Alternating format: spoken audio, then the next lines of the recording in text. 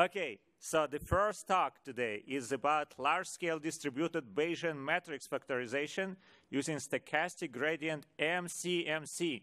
And the presenter is Nathan Liu from uh, uh, Yahoo Labs.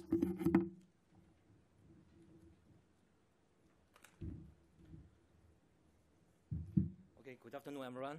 Uh, thanks for coming to this talk. Okay, okay. Everybody hear me well? Cool, yeah. So uh, this is a joint work with uh, Sungjin Ahn, Anoop uh, from UC Irvine, and uh, Suju Rajan from Yahoo, as well as Max Welling from University of Amsterdam, uh, who's also associated with uh, UC Irvine. So, uh, so why do we want to do Bayesian? Oh, okay. So why are Bayesian methods good for matrix factorization, right? So uh, the, the major problem with uh, collaborative filtering in this kind of rating data is that the rating matrix is usually very, very sparse. And you, you, need, you need to learn a huge model with you know, tons of parameters with very sparse data, right? And there are a lot of uncertainty associated with, with, with, your, with, with your model parameters. And Bayesian inference provides a principal way to characterize those uh, uncertainties in the data, as well, usually achieving better accuracy, right? So, for example, in terms of the capturing the uh, uncertainty part, if you look at the uh, using the Bayesian method, uh, the latent vectors you learned for these two movies, x and y, x has very few regions. And if you look, look at the posterior samples for the x vector, it definitely has a much higher dispersion, right, which captures the inherent uncertainty with this particular movie. Because you have less data about it, therefore you have a stronger uncertainty about the model parameters.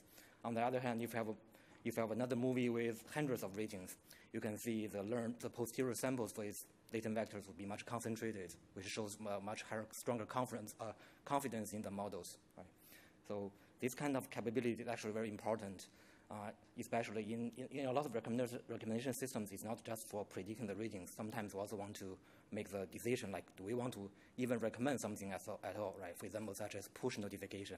And this kind of posterior sampling allows us to quantify the uncertainty, and based on that, we can make a decision to say, oh, well, we are very certain this is a good recommendation, therefore we are going to recommend it to you. Otherwise, we probably would not recommend it at all, right? So that's one of the major motivations for using Bayesian methods for matrix factorization. And uh, previously, uh, there's already a method, uh, BPM was pre- proposed in ICML several years ago. And back then, for the Netflix dataset, it's actually one of the best performing single models, right? And, uh, but the pro- problem there is that the computational complexity is, ex- is extremely high. So, which is mostly due to the inversion of a, uh, of a square matrix, which is like a cube complexity, right? And if you have ever tried the open source code in MATLAB, so to, to run on the Netflix data set, it can actually take days to you know, produce a full sample and get the state-of-the-art uh, results. As a result, if you look at most of the practical uh, implementations used by industry or in data science competition like KDD Cup, it's mostly still dominated by the frequentist approach. Uh, in particular, you know, vari- various uh, variations of the stochastic gradient method. Right? So therefore, our, our, our, our major uh, the, the goal we're trying to achieve in this work is basically try to tap into this power of Bayesian method uh, without really, you know, very high computational complexity, right? And this, that is one of our major uh, contribution in this work.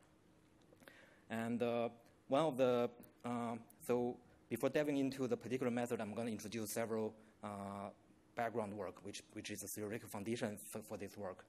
So one way to scale up uh, Monte Carlo, this kind of uh, MCMC uh, method over large data set is by running this kind of uh, mini batch algorithm, right?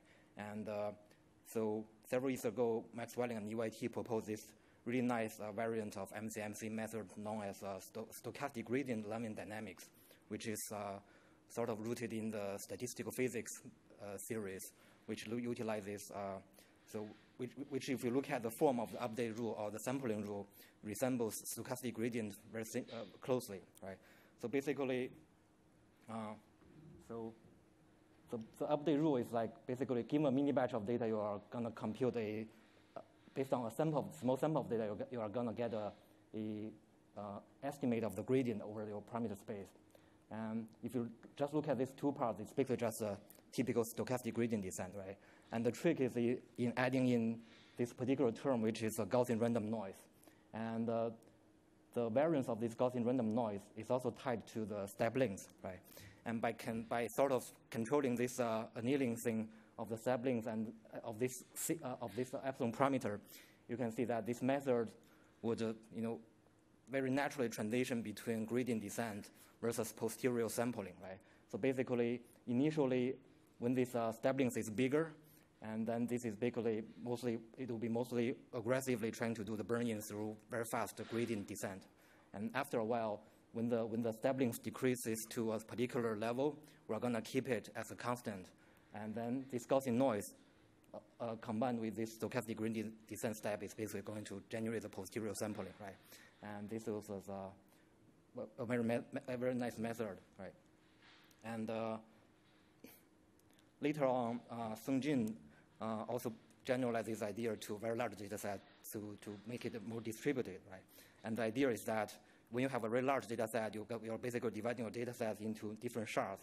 And each worker node is going to hold a particular shard of your data and generate samples locally, right? And uh, the beauty is that uh, each chain is going to jump between workers so that, you know, uh, those, those, those different workers are going to work concurrently to generate, uh, to simulate sampling from the whole data set, right? And uh, rather than, you know, letting each worker only produce posterior samples from a local subset, for example, if, if, if, it is, if that is the case, you can see if, a, if, each worker only has a small subset of data, it's not going to generate the posterior sample that approximates the real mode, right? Whereas you combine all the data together, so the, the, the, the posterior sampling will be approximate the real mode much better, right? and this is the idea. So you have four workers, you, have, you, you run concurrently run four chains, and each of the worker would be at different time steps would jump, jump to different chains, right?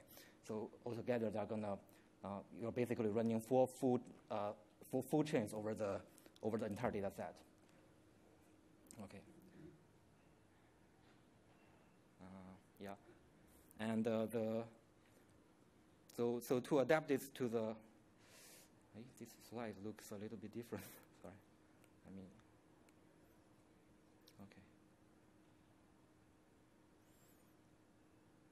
okay.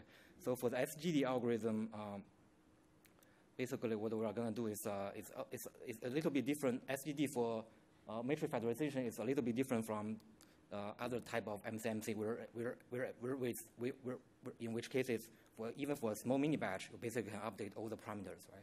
For matrix, uh, for matrix factorization problems, if you random, randomly sample a small mini batch of data set, you're going to only touch upon a small set of rows and columns, right?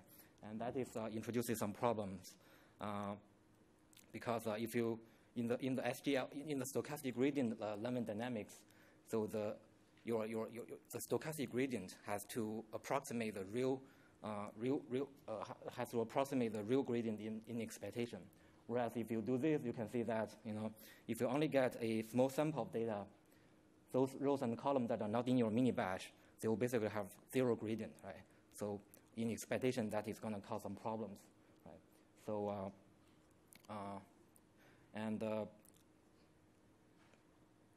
and one, one trick is so in the paper we show, show some show some adjustment, which is this HI parameter, which is basically equal to the probability of any mini batch of a particular size having a particular uh, ID in, in, that, in that mini batch. You need to use that to sort of scale the regularization part in your gradient in order to make sure that then the stochastic gradient is approximates the real gradient in expectation, right?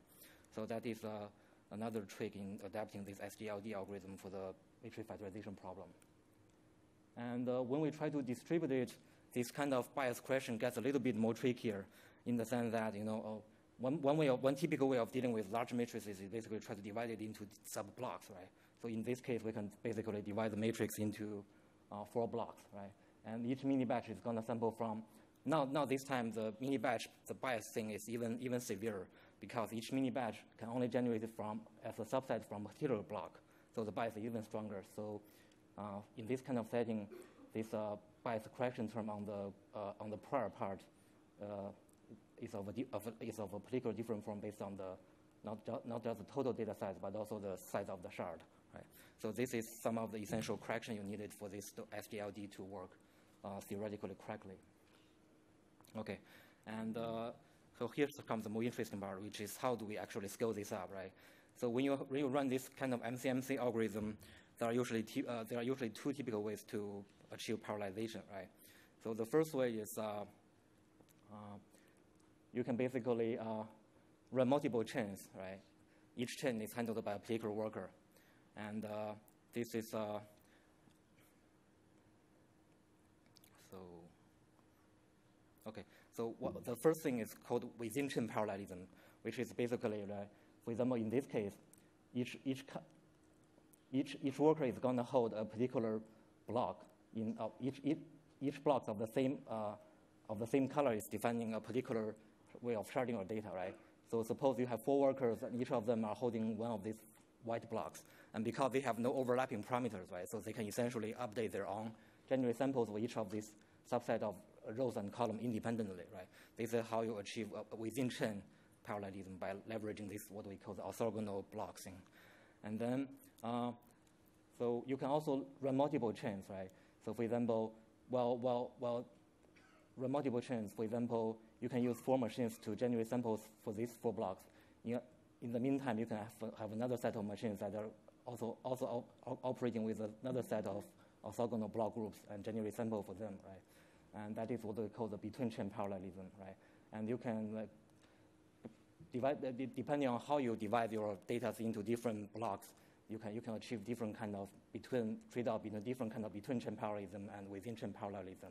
In this extreme case, so all, all, three of these schemes work for the case when you have four machines and you want to use, the, use all four machines to run this kind of sampling. In this case, you, you try to maximize the, the within chain parallelism. So you have four chains, each working with four small blocks, right? And uh, each worker can simultaneously, simultaneously work for, the, for all the four chains, right? That is one case. The other case is you basically split, split your data into like by column or by row, and each of them, uh, now each of the worker is going to handle just one chain and one particular set of parameters. And, and in this case, uh, you can also divide it, leverage some part of it, but making each of the individual small blocks a little bit bigger, so that you know because the smaller the blocks you get, then the stochastic gradient you, you, you get from this mini batch is going to have higher higher bias and higher variance. Therefore, in this kind of approach, you do not want to you sort of ex- exploit both uh, within chain and between chain parallelism without you know making your uh, you know uh, blocks being too small. And uh, these are some of the experimental results. And we tried it, or, or we tried this method on both the Netflix dataset and as, as well as the Yahoo Music dataset. The key difference between these two datasets is that the Netflix dataset is much smaller. So you have uh, much less number of users and much, much less number of items compared to the Yahoo. For the Yahoo Music dataset, you have uh, tens of millions of users as well as millions of items, which is like uh, nearly 200, uh, 100 times bigger than the Netflix dataset. And we can find that when you have a moderate set, uh, when your model is not too, too, too huge, it turns out split by this kind of column or row can actually achieve the best convergence over convergence rate. Whereas you have, when your model gets, gets really, really huge, uh, split it by the square to sort of also leverage this kind of uh, within, within chain parallelism is going to make the convergence work better. And uh, also, there's uh, some of the uh, results on increasing the latent dimension. As, as you can see, using Bayesian methods, you don't, you, you, you, you, you don't really overfit as you increase the number of parameters, right? And similarly, on, on the Yahoo data set, you see this, uh, you see this similar behavior. And we can see that our method uh, so outperformed both the previous BPMF method as well as some of the distributed SGD algorithm, which is non-Bayesian, right? So uh, Okay, so here's the conclusion. So BPMF, so in this paper, we basically developed a, a much more scalable MCMC method for learning this kind of uh, matrix factorization model. And uh, we leveraged the stochastic gradient Langevin dynamics to achieve the MCMC method. And uh, you know the result is showing that uh, it's doing better than the frequentist approach as well, uh, in terms both of accuracy as well as the runtime convergence rate. Right. Okay, so we hope that this is going to provide a practical approach to leverage the power of MCMC for a large-scale data set. Okay, that's, uh, that's it. Thank you.